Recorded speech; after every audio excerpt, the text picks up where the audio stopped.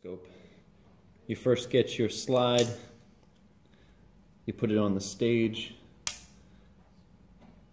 and secure it with the clips. Center the specimen into the light. Then you want to make sure that you're on the lowest power, magnification 10. Use the coarse knob first to make sure that you can find the specimen and get it in focus. So now I have it in focus. Once you go here, go to the next highest power. Once you're here, then you're using a fine focus to focus in on the specimen. And when you go to the highest power, you'll also be using the fine focus again.